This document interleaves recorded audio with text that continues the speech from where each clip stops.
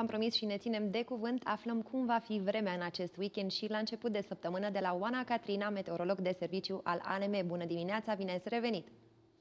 Bună dimineața și bine v-am găsit. Întâi de toate trebuie să începem prin a face mențiune că atenționarea meteorologică cod galben ce vizează uh, viscolul din zona montană înaltă la peste 1600 de metri altitudine își menține valabilitatea până mâine dimineață la ora 10 iar conform uh, acestei atenționări ne așteptăm uh, în zona montană înaltă, la peste 1600 de metri altitudine, ca vântul să prezinte intensificări cu rafale ce vor depăși 80-100 de km pe oră. Concret va fi viscol, vizibilitatea redusă și zăpada troinită. Iar pentru weekendul ce urmează, așteptăm uh, precipitații slave cantitativ sub formă de ninsoare, Tari în general restrânse, sâmbătă în partea de nord, în sud-vest și la munte, iar duminică local și local la munte și în uh, regiunile estice și doar cu totul uh, izolat în rest. Iar în ceea ce privește regimul termic, în weekendul ce urmează o vreme rece în cea mai mare parte a țării, local geroasă dimineața și noaptea în uh, nord-vestul, centrul țării, în dealurile sudice, Concret, uh, sâmbătă, în orele amiezii, așteptăm temperaturi maxime ce se vor încadra la scara întregii țări între minus 6 și 3 grade, minime între minus 13 și minus 5 grade, în condițiile în care, în mod normal, ar trebui în această perioadă a anului să se înregistreze temperaturi cuprinse între minus 2 și 4 grade, cu cele mai coborâte valori de temperatură în depresiunile din estul Transilvaniei, iar cele mai ridicate valori în sudul litoralului, cu 2-3 grade în capitală. Minimele normale pentru perioada în care ne aflăm ar trebui să fie de minus 12, minus 2 um, grade. În ceea ce privește zona municipiului București, Mâine un cer variabil, un vânt în general moderat, 2-3 grade în orele amiezii, minus 8, minus 7 grade pe parcursul nopții, iar duminică o vreme închisă, temporar cu un insor, dar slabe cantitativ și un, un vânt moderat, iar în ceea ce privește debutul săptămânii viitoare, contăm pe o vreme rece, pe precipitații puține, acestea vor prefera partea de est a țării, unde se vor semnala doar pe suprafețe mici, iar uh, vântul va prezenta intensificări luni în partea de est a țării și la munte și ceea ce vreau să punctez este faptul că intensificările ale vântului vor fi și în weekendul ce urmează, mai exact uh, sâmbătă intensificările vântului vor uh, viza zona Carpaților Meridionale, în special altitudinile um, înalte, iar duminică intensificări ale vântului în uh, mai toată zona montană, în, în continuare cu vitezele cele mai mari uh, pe creste. Mulțumim tare mult pentru toate aceste informații. Ne revedem și ne reauzim săptămâna viitoare, vineri. Iar mai departe, să știți că ne aflăm în mijlocul unui scandal național Nicolae Ciucă este al treilea premier al României acuzat de plagiat și în acest context ne-am gândit că ar fi util la matinal să abordăm această problemă, dar dintr-o altă perspectivă. Există o platformă care vine de la studenți pentru studenți pentru a ajuta pe aceștia să-și verifice lucrările, astfel încât să nu riște să se afle în mijlocul unui scandal personal care le poate deraia traseul profesional pe mai departe. Stăm de vorbă în această dimineață cu Radu Pupezeanu, este fondatorul platformei de neplagiat.ro. Bună dimineața, bine ai venit la noi! Bună dimineața, mulțumesc pentru invitație. Și noi îți mulțumim că te-ai alăturat matinalului. Iată că există un context în care o astfel de platformă devine și mai vizibilă. Necesitatea ei este fără doar și poate cât se poate de mare. Aș vrea să îmi povestești puțin despre parcursul tău. Știu că ai studiat în Marea Britanie și că ai văzut un alt fel de sistem acolo. Uh, da, nevoia o să devină din ce în ce mai uh, stringentă pe, uh, în timp ce trece. Am studiat două programe de licență, în Marea Britanie și în România. Le-am studiat în paralel și cumva treaba asta mi-a conferit posibilitatea de a compara sistemele. Iar partea cu verificarea conținutului plagiat pentru studenți, când ei predau un eseu sau un referat, este cumva pusă la loc de cinste în sistemul britanic, în sensul în care studentul are acces la o platformă prin care el își poate vedea uh, procentul de conținut duplicat dintr-o lucrare înainte de a o preda, în timp ce în România posibilitatea asta nu există sau dacă există este foarte limitată. Deci cumva de aici a pornit toată ideea și m-am gândit că este necesar să aducem un sistem similar și, și în mediul academic din România, în special pentru studenți, pentru că ei sunt uh, cei mai vulnerabili. Iar uh, un ultim uh, element de, care cred că e foarte important e că în perioada asta, în special de când a început pandemia, toate resursele sunt online. Deci este foarte dificil să nu ai în eseu pe care tu îl predai măcar un paragraf care să fie conținut duplicat, fără intenția ta neapărat. Am înțeles că în România există o astfel de platformă, dar este preponderent folosită de către profesori și am înțeles că și elevii au acces la aceasta, dar ce se întâmplă în cazul în care un student introduce lucrarea sa de licență pe această platformă? Ce constată profesorii când încearcă ei înși să corecteze lucrarea? Din ce am constatat noi, în uh, România situația este puțin diferită de la facultate la facultate, în sensul în care nu se știe, sau cel puțin studenții nu știu la ce platformă are acces profesorul când le testează lucrările și cred că platformele sunt și diferite uh, de la facultate la facultate. Uh, ceea ce se întâmplă este în felul următor. Multe din aceste platforme, probabil în nevoia lor de a face profit, cumva pun uh, la dispoziție platforma și online pentru student, independent de ceea ce înseamnă activitatea lui la facultate, dar și în cadrul facultății. Când încarci lucrarea în sistem, în mod normal, ea rămâne într-o bază de date. Iar dacă să spunem că tu, student, ai încărcat independent lucrarea, a rămas stocată în baza de date a platformei respective, iar profesorul încarcă aceeași lucrare prin aceeași platformă o perioadă de timp mai târziu, procentul de plagiat poate fi de 100%, iar tu nu poți dovedi că este uh, lucrarea ta originală, este cumva considerat un autoplagiat. Deci, chichiță tehnică care cumva ca student te pune în dificultate și nu neapărat poate să prejudicieze toată munca ta de până atunci. Din această perspectivă, platforma voastră cum funcționează? Ce uh, se folosește? Uh, cum ai spus la începutul emisiunii, platforma este de la studenți pentru studenți.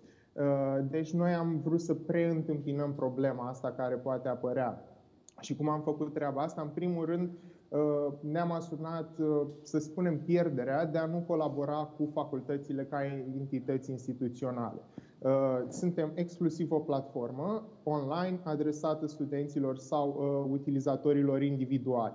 Deci nu există riscul ca tu, ca student, dacă încarci lucrarea și ea rămâne în bază de date, mai târziu profesorul să folosească aceeași platformă, pentru că platforma noastră nu este folosită de facultăți. Ăsta ar fi primul aspect. Al doilea aspect, Uh, la noi uh, lucrările se șterg din baza de date după două săptămâni. Asta uh, o facem pentru că nu dorim să rămână lucrările cumva într-o bază de date, mai ales acum că e sensibil cu protecția datelor și tot ce presupune. Dar este important de menționat că tu ca student, dacă încarci lucrarea de 2, 3, 4 ori prin același cont în platforma noastră, nu îți va da conținut plagiat 100%, pentru că, mă rog, sunt, niște, sunt anumite setări care previn treaba asta. Dar important de știut e că după o perioadă de timp ele se șterg din baza de date și oricum nu colaborăm cu facultățile. Deci suntem acoperiți din uh, toate punctele de vedere. Aș vrea să îmi povestești puțin despre această dublă perspectivă pe care o ai asupra lucrărilor Marea Britanie versus România. Din această perspectivă, cât de mult accent se pune pe autenticitate, pe originalitate într-un sistem și în celălalt? Um, accentul care se pune este oarecum similar și uh, am fost destul de surprins să văd că normele care trebuie aplicate sunt, uh, sunt aceleași. Uh, uh, mai presus de asta, uh, sursele utilizate sunt în general aceleași, care sunt accesibile online. Deci, cumva, uh, uh, la nivel de reguli, uh, integritatea e pusă pe același loc.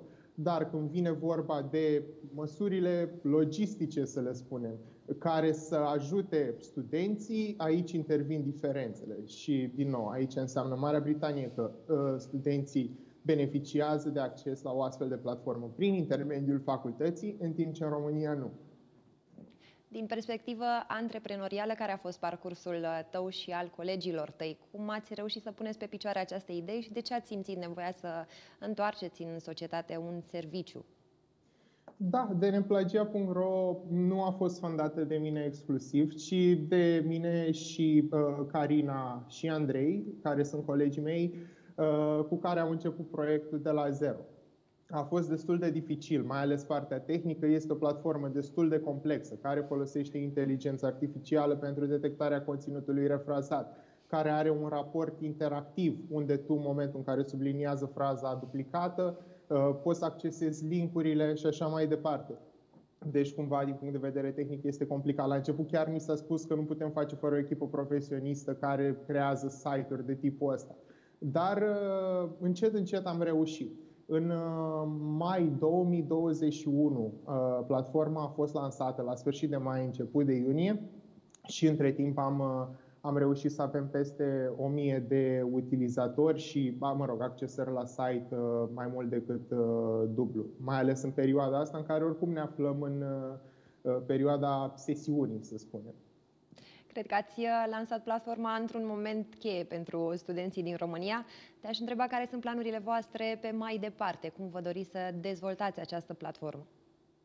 Uh, pe mai departe ne dorim foarte, foarte mult să ajungem la cât mai mulți studenți să înțeleagă beneplagia.ro și bă, să bă, aibă încredere și să vadă că este cumva uh, o metodă care îi ajută pe ei să treacă mai ușor prin, prin facultate.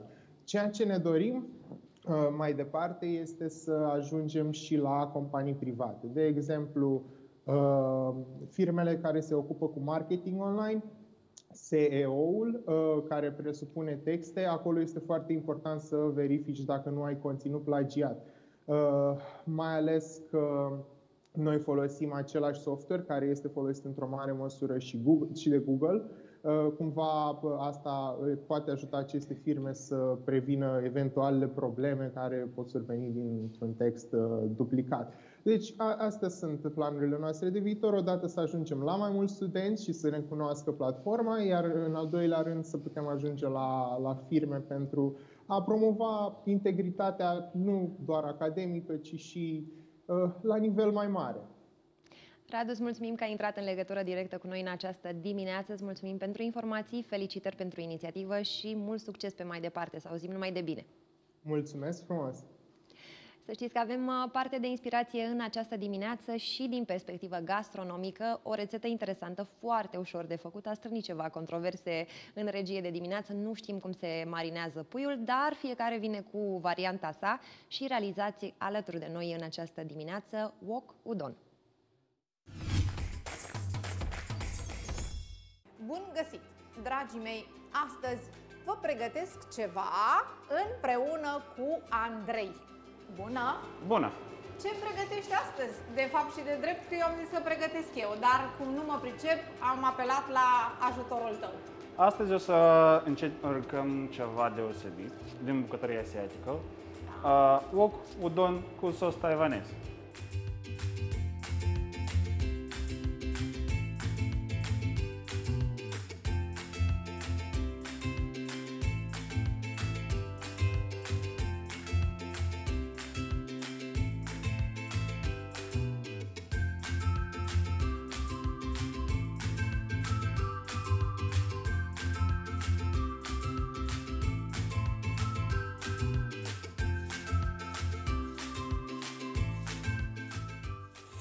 Mereu trebuie să le amestecăm. Altfel o să fie arse pe o parte și crude pe alta. Iar noi vrem să fie gustos. Altfel nu ne iartă Mihaela.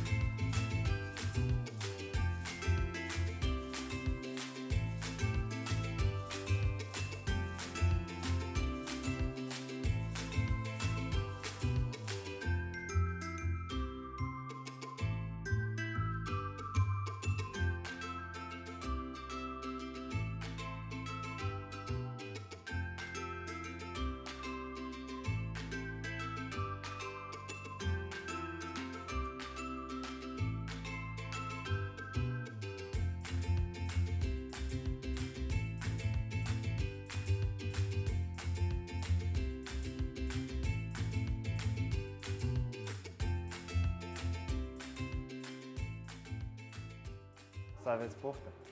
Mulțumesc frumos! Doamne, ce bine miroase și ce bine arată și foarte rapid. Ce să mai? Abia aștept să încerc. Mm. Vă invit să rămâneți cu ochii pe mine. Sunt Mihaela Popescu și vă dau întâlnire data viitoare cu o nouă rețetă. Poftă bună!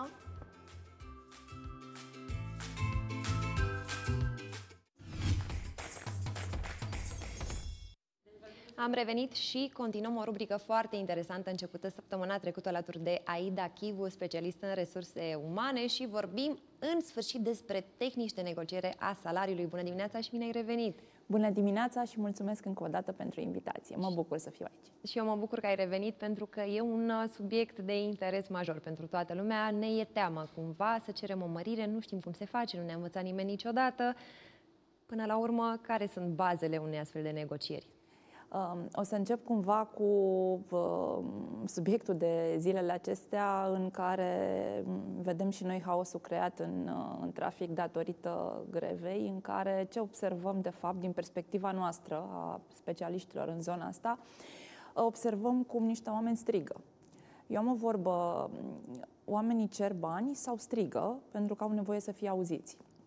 Asta înseamnă că atunci când punem pe masă banii ca și, și monedă, este momentul acela și îl strigăm neapărat, este momentul acela în care nimic altceva nu a mai funcționat nimic altceva nu mai merge, nimic altceva, oricât am încercat să ne, uh, uh, ne spunem, eu știu, poate doleanțele sau oricât am încercat să atragem atenția asupra noastră, n-a funcționat.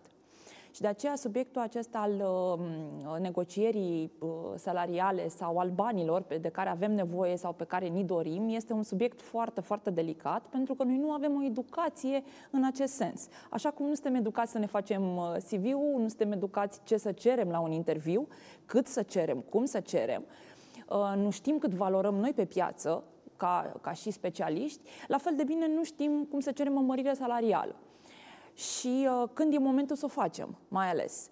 Uh, o să privim un pic lucrurile din două, din două direcții. O dată din perspectiva angajatorilor și o dată din perspectiva angajatului. Din perspectiva angajatorului uh, s-a practicat, din păcate, mm, și spun din păcate pentru că e o practică destul de des întâlnită, aceea de mm, a te gândi la un buget de creștere a salariilor, dar uh, a nu-l comunica. Și atunci uh, s-a mers destul de mult timp pe premiza dacă se întâmplă, atunci acționăm. Dacă cineva are nevoie, atunci acționăm. Și s-a mers destul de mult uh, din inerție, de-a lungul unui an, să spunem, în care dacă cineva a venit și, nu știu, a amenințat că pleacă sau a venit și a spus uh, nu mai pot așa, simt că ceva trebuie sau a fost promovat, eu știu, din vari motive, atunci angajatorul a reacționat, și uh, a venit și cu un, un, plus, uh, un plus salarial. Dar, repet, angajatorul a reacționat. Uh, bineînțeles că exista un buget. Bineînțeles că omul ăla nu a scos atunci din, din portofel. Normal că s-a gândit în momentul că și-a pus cifrele pe masă la început de an sau la sfârșit de an, s-a gândit și la, la creșteri salariale. Doar că nu știm cum să le comunicăm sau ne gândim că poate cine știe ce mai apare. Deci cumva aici există un gap care ar trebui, uh, să zic așa, lucrat pe el și uh, găsit o variantă de mijloc. Ce înseamnă o variantă de mijloc? Înseamnă că în momentul în care eu ca organizație știu clar ce pot să ofer și aici mă refer la bani și la celelalte beneficii, pentru că nu banii motivează pe oameni. Banii sunt o consecință a unor acțiuni. Noi lucrăm, muncim și la finalul lunii, ca să spun așa, suntem uh, plătiți pentru ceea ce facem. Nu suntem motivați pentru asta. Suntem pur și simplu, uh, pur și simplu plătiți pentru, a, uh, pentru, pentru lucru făcut. Atunci banii e greu să ne motiveze. Banii ni se cuvin la un moment dat, pentru că muncim pentru ei, repet. Din perspectiva angajatului, uh, problema banilor se pune astfel. Uh, ok, eu fac și aștept să mă vadă cineva. Nu sunt educat să mă duc să cer. Sunt oameni care vin și spun, ok, eu mă duc și cer și asta este și pun pe masă moneda și cu asta basta. Și sunt oameni care vin și spun, aștept să fiu observat. Nu mi se pare frumos să mă duc să cer bani în plus, ci mi se pare că managerul meu, angajatorul meu vede că eu depun un efort, poate suplimentar, da? Și atunci el ar trebui să vină, să vină la mine să îmi propună el. De aceea nu suntem pregătiți să negociem un salariu. De aceea, în momentul în care ajungem la masă cu angajatorul și el spune îți mai dau 3 lei în plus, noi spunem în cea mai mare parte ok, mulțumim. Uh, sau ne ridicăm dezamăgiți de la masă și suntem supărați pentru că nu am primit cât ne așteptam noi să primim. Dar dacă suntem întrebați cât ne-am dori sau ce ne-am dori, fie ne e jenă, fie nu știm, fie spunem o sumă care are legătură cu nevoile noastre personale. Uh, dacă am rate la casă, la mașină, la uh, televizor, la ce mai am eu, îmi fac o sumă a costurilor mele lunare și spun atât vreau eu să, să am salariu. Dacă eu fac un job care să fie plătit cu suma aia, dacă eu sunt pregătit să uh, dau la schimb uh, jobului, nu, până la urmă că nu dau omului din fața mea, organizației, suma respectivă, nu știu. Și atunci, iar se creează o, uh, o sincopă, ca să spun așa, între, uh, între angajator și angajat. E, ce facem? Ca să, ca să vin și cu câteva tuluri, ce facem în această situație? Um, dacă mm, o luăm preventiv sau o luăm cumva într-o situație, hai să spunem optimă, nu neapărat ideală, ar trebui ca angajatorii să vină să comunice, uite, majorările salariale au, uh, uh, vin în urma evaluărilor anuale, toți suntem într-o perioadă în care marea majoritatea companiilor își fac evaluările anuale, din ianuarie până în martie, și uh, după aceste evaluări, pe anumite criterii, acordăm majorări salariale plus pachetele de beneficii, dezvoltare personală, ce mai face, ce mai face fiecare companie. Însă, ce este foarte important de punctat, nu este cât anume să dăm sau ce anume, ci să argumentăm de ce avem acel pachet salarial, de ce avem doar o creștere de 10%, doar pentru că organizația respectivă atât își permite, atât poate. Nu spune nimeni să punem presiune pe, pe companie. Oamenii vin și spun, comunicați-ne, spuneți-ne cât, cum și ne luăm și noi deciziile. Pe de altă parte, uh, angajatul ar trebui să uh, se gândească un pic la, uh, la el, la activitatea pe care o depune, uh, pe care o desfășoară, la cât este plătit astăzi, uh, cam cât sunt plătite astfel de joburi în piață, să facă un pic de research, să, să caute un pic un interval, nu o sumă fixă. Un interval salarial, nu știu, un, uh, un job de specialist în habar n-am să-i spunem IT sau eu știu ce, poate să fie plătit între 4.000 și 8.000 de lei. Dau un exemplu, nu neapărat. Uh, și atunci uh, știu că ăla este intervalul. Eu sunt mai la început, sunt middle, sunt senior, pe unde mă duc? Atunci pot să am o idee, să mă duc un pic pregătit la o negociere salarială. Uh, în timpul negocierii, ca să ajungem la un compromis, uh, trebuie să existe acea raportare win-win. Adică ce ofer și ce primesc de ceea ce ofer.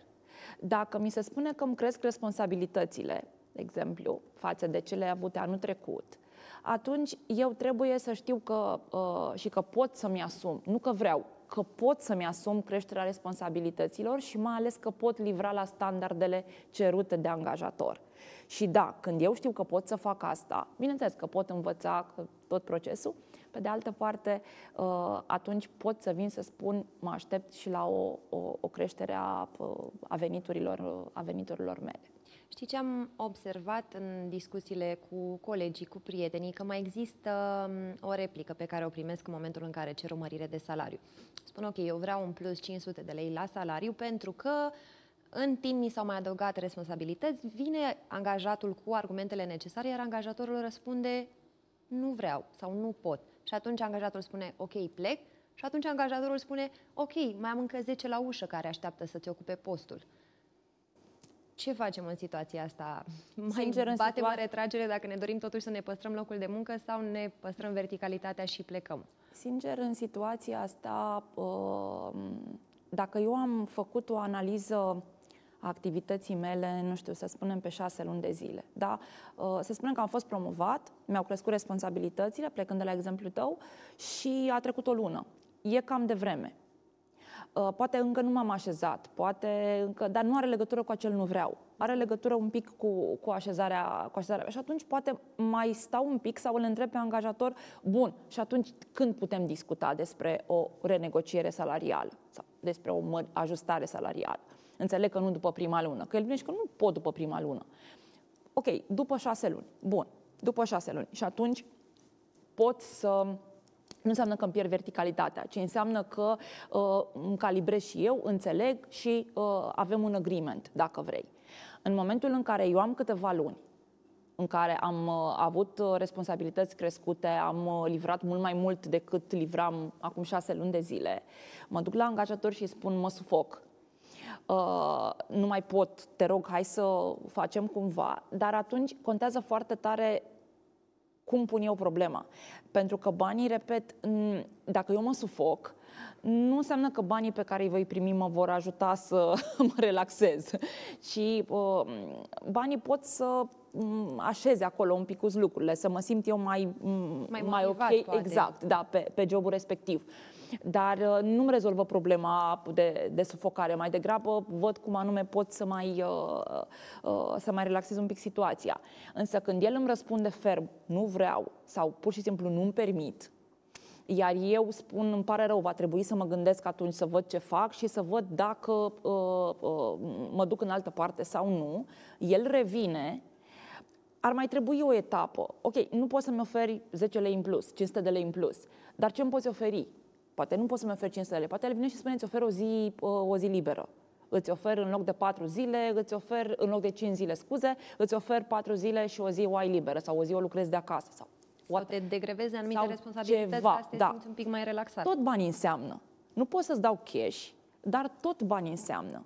Și atunci angajatorul ar trebui, ca să nu spun trebuie, să pună ceva pe masă. Dacă nu am bani să ofer, pentru că nu, nu-mi permit vremurile, nu-mi permite business-ul, pur și simplu am alte costuri, acel nu vreau ar trebui înlocuit cu, ok, nu pot să-ți măresc acum, dar uite ce pot să-ți ofer sau lasă-mă un pic să mă pregătesc, să uh, îmi fac temele, să mă gândesc ce anume pot să-ți ofer la schimb. Și atunci rămân, dacă, bineînțeles, uh, uh, e ok, fără să-mi pierd verticalitatea.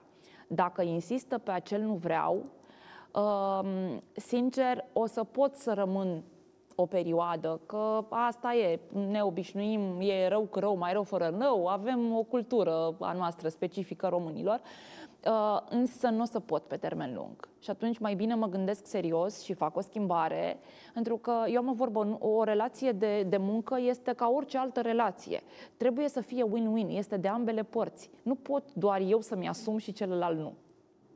Am uh, ascultat recent o emisiune la radio pe tema mm, salarizării locurilor de muncă din România și a intrat în uh, direct un patron de fabrică. Spunea că și-a pierdut mare parte dintre angajați în această perioadă de pandemie. Avea angajați specializați pe anumite Categorii. instalații tehnice, că nu găsește în piață angajați calificați și nu înțelege unde a greșit nu înțelege de ce n-a putut să-și păstreze personalul, de ce număr covârșitor au părăsit câmpul muncii în care activau până atunci.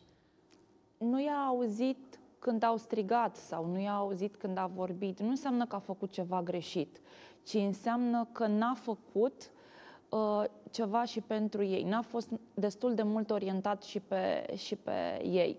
Uh, am citit și eu uh, recent câteva comentarii în care se spunea, domne, nu ne interesează viața, nu ne interesează pe angajator viața mea personală, nu ne interesează pe angajator dacă dacă nu l-ar interesa, n-ar avea de unde să știe când să intervină. Iar dacă nu-l interesează, într-o zi, omul vine și spune, păi, să nu-i pasă deloc de mine.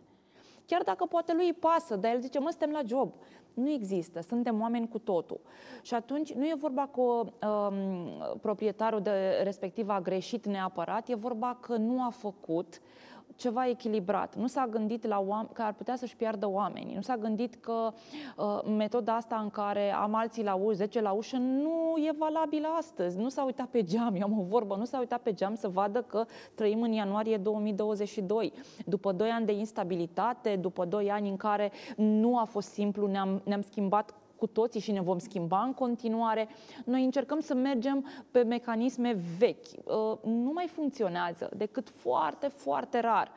Și atunci, uh, cred că înainte de, sau la primele semnale în care încep să plece oamenii, ar trebui să fac niște exit interviuri ca lumea.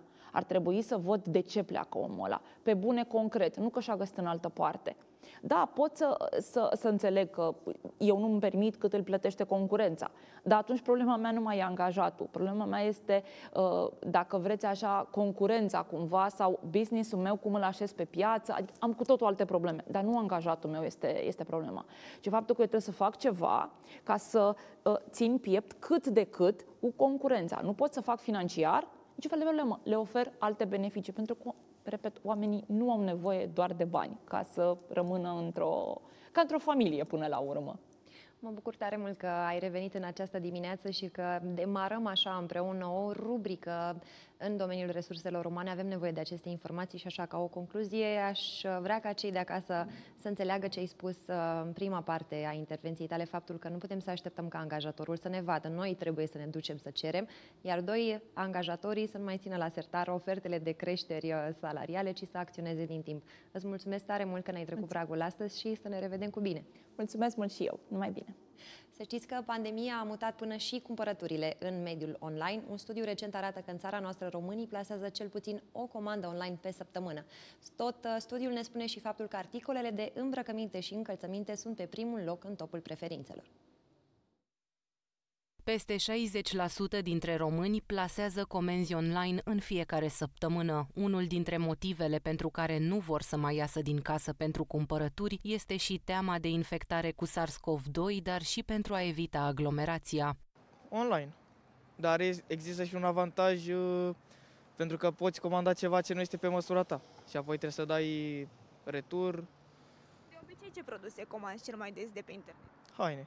Eu prefer să merg să le aleg din oraș decât să le fac online, dar dacă n-am altă posibilitate, n-am decât să le comand acasă. Am comandat de la încălțăminte până la un fes, de exemplu. Mulțumită de produse? Foarte mulțumită, da, s-au potrivit perfect. Alții, în schimb, preferă metoda clasică a cumpărăturilor pentru a fi mai siguri pe ce cumpără. Eu, sincer, fizic mă duc în magazin, prea sunt cu online-ul. De ce preferați așa? Pentru că, în primul rând, dacă este vorba de haine, eu nu nimăresc măsurile și plus că vreau să văd. Problema cumpărăturilor de pe internet apare atunci când plasăm comenzi mai mari decât ne ține buzunarul, iar această problemă este dovedită psihologic. O mare parte din zi ne petrecem în mediul online și nu mă fere să spun că și viața s-a mutat aici. Telefonul devenind practic o extensie a mâinii, este logic că devine mult mai accesibil să cumpăr online decât în mediul fizic, dacă sunt la un click distanță de ceea ce îmi doresc. Viteza cu care se desfășoară acum lucrurile ne scade foarte mult răbdarea. Dorim totul imediat, dorim o gratificare și o recompensă imediată. Nu, nu, se potrivesc. Pentru că știu unde să comand și m-am obișnuit cu site-ul respectiv și dar uh, se întâmplă atunci când comandați de pe internet să adăugați mai multe produse în coș decât atunci când ați merge fizic la cumpărături? Uh, da, da. Pentru că stai, uh, te uiți, iar intri în altă parte, iar dai înapoi, iar în fine. Printre cele mai căutate produse în mediul online sunt și electrocasnicele și produsele cosmetice. Caritatea se bazează în mare măsură pe generozitatea oamenilor pentru a ajuta la strângerea de fonduri prin donații de bani, bunuri și timp. Nu este un secret pentru nimeni că fără aceste donații celor defavorizați sau aflați în situații de dificultate le-ar fi foarte greu să se descurce. În acest sens, autoritățile din orașul Pantelimon vin în sprijinul celor nevoiași printr-un magazin de lucruri și jucării fără preț. Direcția de asistență socială este un loc de unde cei aflați în imposibilitatea de a se descurca din punct de vedere material au posibilitatea să vină și să își aleagă tot ce doresc, fără a fi limitați și fără niciun preț. Proiectul Dar din Dar are ușile deschise în cadrul Direcției de Asistență Socială Pantelimon și se adresează tuturor categoriilor de vârstă. Propunerea a fost alimentată de cererea mare de îmbrăcăminte de după încheierea stării de urgență, când mai multe persoane și-au pierdut locurile de muncă și nu au mai avut resurse financiare pentru achiziția de haine. Conceptul a fost definit pe baza unor aspecte importante cu care se confruntă țara noastră, România fiind pe penultimul loc în Uniunea Europeană în ceea ce privește reciclarea bunurilor, cât și reutilizarea acestora. Dar din dar s-a născut tocmai ca să ca persoanele să beneficieze de ceea ce au nevoie, să poată să vină să aleagă dintr-un loc frumos, unde lucrurile sunt aranjate pe raft, uh, și le văd, pot alege în funcție de mărimea de care au nevoie, uh, pot alege în funcție de sezon și uh, donatorii la fel știu că donația lor ajunge la o persoană în nevoie. Proiectul a luat naștere la inițiativa Direcției de Asistență Socială cu sprijinul primăriei Pantelimon, iar toate produsele care sunt donate celor nevoiași trebuie să fie spălate, călcate și într-o stare bună. Etichetele pe care noi le-am pus hăinuțelor, după cum vedeți, au o inimă și spune că sunt dăruite din inimă. Beneficiarii acestui proiect sunt atât persoanele aflate în evidențele Direcției de Asistență Socială, cât și orice alte persoane care aud despre inițiativa noastră și vor să uh, ia hăinuțe din magazin. Misiunea autorităților este aceea de a crea o locație în care să poată fi accesate bunuri pentru copii și familiile acestora, cum ar fi îmbrăcăminte, cărți, pantofi, jucării și mobilier donate. În urma unor verificări, aceștia sunt invitați să, să vină la noi. Uh, singura condiție pe care trebuie să o îndeplinească este să aibă domiciliul în orașul Pantelimon sau să locuiască în fapt pe raza orașului Pantelimon apelând numărul 0758 103 027 orice persoană care se află în imposibilitatea materială și locuiește pe raza orașului Pantelimon poate beneficia de aceste daruri. Proiectul urmărește atât ajutorarea persoanelor în nevoie, cât și educarea membrilor comunității pentru a deveni mai responsabili cu privire la resursele folosite în producerea îmbrăcămintei și durata folosirii hainelor. Nu știu exact ce zodie este Jennifer Lopez, dar promit că mă informez și vă spun uh, data următoare. Până una alta vă invit să rămâneți alături de noi pentru a afla vești din lumea astrelor, pentru că urmează horoscopul zilei.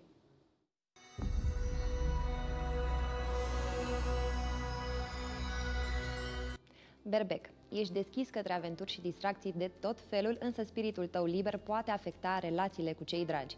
Pot apărea tensiuni și este nevoie de multă diplomație din partea ta pentru a depăși cu bine această perioadă. Ține cont de părerile celor din jur și încearcă să le respecti limitele. Taur. Ești dispus să te ocupi mai mult de treburile gospodărești și să acorzi mai multă atenție familiei. Te gândești tot mai mult la trecut, poate la o problemă care a rămas nerezolvată sau la o persoană pe care nu o poți uita și riști să cazi ușor în melancolie. Trăiește prezentul și bucură-te de tot ceea ce te înconjoară. Gemeni. Ai multe gânduri contradictorii și îți vine greu să te concentrezi pe ceea ce ai de făcut. Relațiile cu cei din jurul tău vor avea de suferit dacă nu te aduni și nu încerci să ieși din starea în care te afli. Astrele îți recomandă să te rezumi la discuțiile strict necesare în următoarea perioadă. Rac. Ziua de astăzi îți aduce cheltuieli neașteptate și poți avea parte de câteva situații la care nu te-ai fi gândit.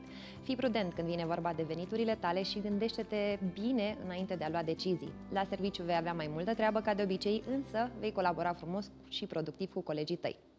Leu. Se anunță o zi cu multe răsturnări de situații, iar lucrurile vor fi imprevizibile pe tot parcursul zilei. Încearcă să eviți conflictele și tensiunile de orice fel și distanțează-te atunci când simți că este necesar. Fii prezent în viața ta și nu îi lăsa pe ceilalți să-și impună punctul de vedere asupra convingerilor tale. Fecioară. Lasă treburile cotidiene pentru o altă zi. Acum este momentul pentru o dihnă. Lasă-te purtat de plăcerea momentului și nu încerca să-ți asumi mai multe responsabilități decât poți duce. Fii atent la lucrurile din jurul tău, dar privește-le din perspectiva unui analizator. Balanță.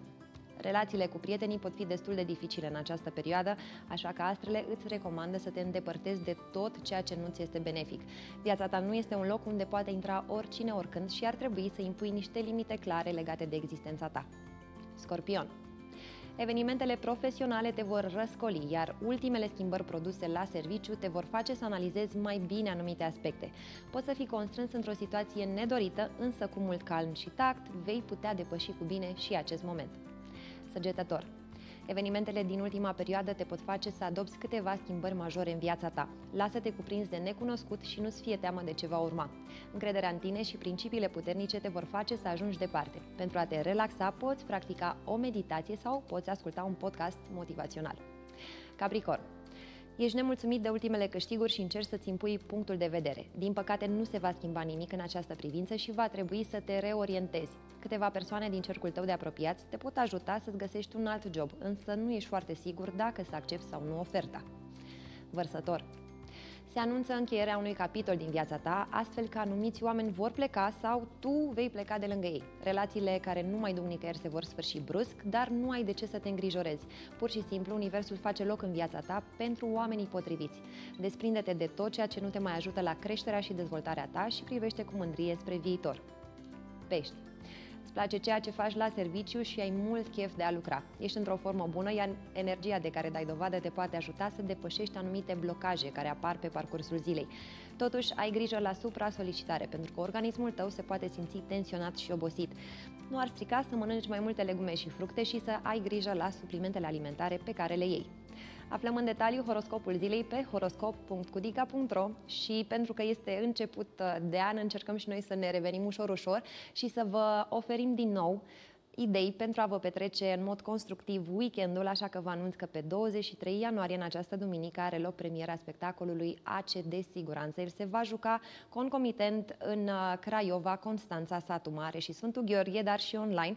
Iar uh, de vorbă, în această dimineață stăm cu Bobby Pricop, regizorul acestui spectacol. Bună dimineața, bine ai venit la noi! Bună dimineața, bine v-am găsit! Îți mulțumim că ai intrat în legătură directă cu noi în această dimineață și aș vrea să ne povestești mai multe despre spectacol. Aș vrea să pornim de la ideea de TikTok. Cei drept ne-a invadat viețile, cei drept a devenit cea mai căutată platformă de socializare din România, a depășit Instagramul anul trecut.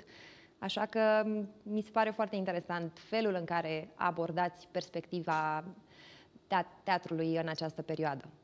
Exact. E o platformă care, spre deosebire de Instagram și de Facebook, te pune pe tine ca utilizator într-o situație mai performativă, adică trebuie să te regizezi un pic, trebuie să te filmezi singur, trebuie să te înscenezi și atunci uh, noi ne-am dorit să facem un spectacol adresat publicului tânăr. În primă fază ne-am dorit să facem un spectacol cu și despre adolescenți într-o sală de teatru clasic, așa, dar na, și pandemia și restricțiile ne-au dus în direcția asta, plus că ne-am dorit foarte mult să-i lăsăm pe ei să conducă proiectul. Am făcut un casting și am ales pe acești șapte adolescenți și din discuțiile cu ei și lucrând cu ei am ajuns la concluzia că pentru ei e mult mai importantă expunerea asta pe platformă, pe TikTok și atunci ne-am dorit să facem un proiect care să meargă pe de-o parte și către TikTok, adică am creat împreună cu ei niște materiale, niște narațiuni în care ei își zic poveștile. Practic, ei lansează pe TikTok o mișcare care se numește hashtag ACE de siguranță, care să dea adolescenților uh, o voce pe TikTok și experiențelor lor, să ne ajute cumva pe toți să înțelegem mai bine cum se vede lumea din perspectiva unui tânăr de 16-17 ani astăzi în, în România.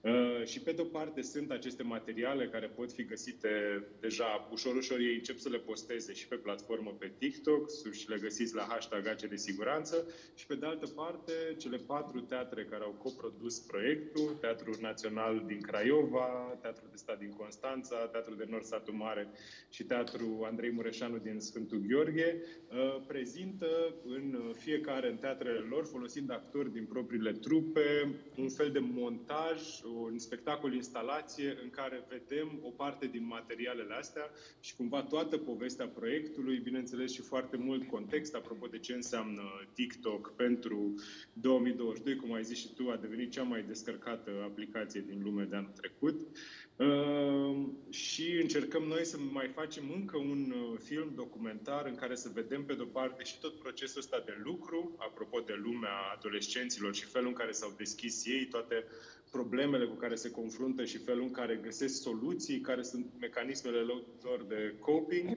Pe de altă parte, felul în care spectacolul se joacă în teatre și reacțiile uh, spectatorilor, pentru că spectacolul se adresează pe de o parte și generației foarte tinere, care iată, e reprezentată cumva în sala de teatru și pot veni la teatru să vadă și lucruri care îi privesc direct și o problematică care este strâns legată de viața lor de zi cu zi.